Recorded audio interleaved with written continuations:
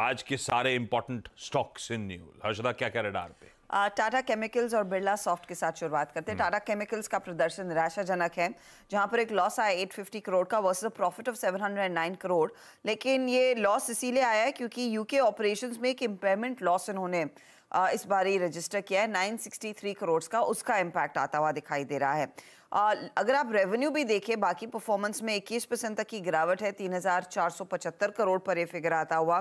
EBITDA में भी हम देख रहे हैं चौवन परसेंट की गिरावट, चार करोड़ का ये आंकड़ा है और मार्जिन खासे ट्रिम हुए हैं। जो लगभग 22 परसेंट के आसपास थे, वो मार्जिन घटकर अब सिर्फ़ 13 परसेंट के करीब है।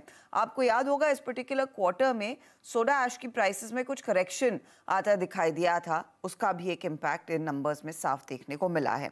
दूसरी तरफ़ बिरला सॉफ्ट बिरला सॉफ्ट के केस में मुनाफा 60 परसेंट बढ़कर आया है 180 करोड़ के आसपास। रेवेन्यू में अगर आप रुपी टर्म्स में देखें तो 11 परसेंट का इजाफा है, लेकिन डॉलर रेवेन्यू थोड़ा सा मिस है। 2.2 परसेंट का अनुमान था, उसके सामने डेढ़ परसेंट ही कंपनी ने डिलीवर किया है। हालाँकि मार्जिन बेहतर हुए हैं। 13.6 परसेंट से बढ़कर कंपनी ने 16 परसेंट के मार्जिन दिखाए हैं तो वहाँ पर प्रदर्शन काफ़ी अच्छा है तो इसे आप गुड कैटेगरी में ही रखेंगे। कैनफिन होम्स के भी नंबर्स आए मैं फटाफट से बता दूँ।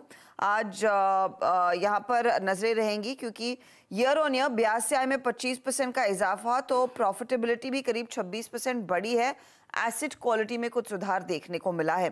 क्वार्टर ऑन क्वार्टर ज़्यादा कुछ एक्शन नहीं है ब्याज से आय में। इनफैक्ट वहाँ पर दबाव ही बना है। आ, दूसरे नंबर्स में यूको बैंक रेडार पर रहेगा। मुनाफे में डिप है लेकिन ब्याज से आय में करीब 11 परसेंट का इजाफा। और एसिड क्वालिटी इस बैंक के केस में बेहतर दिख रही है। इनका डिपॉजिट रेशियो भी कुछ इम्प्रूव होता हुआ दिखाई दिया है। जन स्मॉल फाइनेंस बैंक का, का परफॉर्मेंस अच्छा तो वहाँ पर एक पॉजिटिविटी पूना वाला फिनकॉप के नंबर्स बहुत ही बढ़िया रहे हैं। मुनाफे में 80 परसेंट से ज़्यादा का इजाफा, ब्याज से आए सत्तावन परसेंट बढ़ी है। डिस्पर्सबल्स में पिकअप है तो वहाँ पर अच्छा प्रदर्शन है। तो ये सारे स्टॉक्स रेडार पर रहेंगे।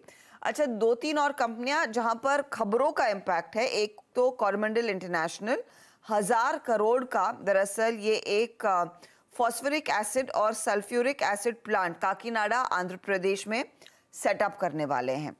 आरवीएनएल के हाथ सदन रेलवे से एक लेटर ऑफ़ एक्सेप्टेंस मिला है। 438 करोड़ का प्रोजेक्ट है। राइट्स को एक लेटर ऑफ़ एक्सेप्टेंस मिला है। बांग्लादेश रेलवे की तरफ़ से 111 मिलियन डॉलर का ये ऑर्डर है।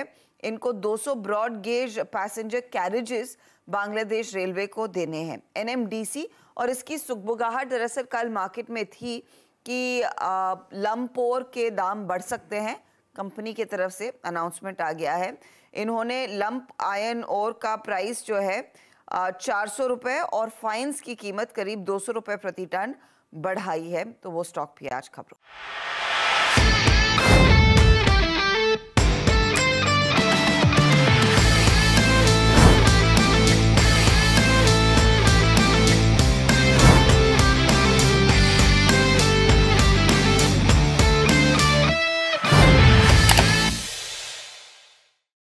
बता दें कि मनी कंट्रोल पर दिए गए विचार एक्सपर्ट्स के अपने निजी विचार होते हैं। वेबसाइट या मैनेजमेंट इसके लिए उत्तरदायी नहीं है। यूज़र्स को मनी कंट्रोल की सलाह है कि कोई भी निवेश निर्णय लेने से पहले सर्टिफाइड एक्सपर्ट की सलाह लें।